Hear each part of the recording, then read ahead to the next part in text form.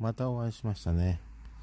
17年3月に30代半ばの一般男性と再婚。今回撮影前にもしかしたら写真集を出すかもと夫に相談すると驚いて一瞬固まった。その後にまさかポロリはないよねと確認されたという。出来上がりを見たとき、高田久美さんはエロかっこいいだけど、とベタ褒めです。のろけました。それでは、お先に失礼します。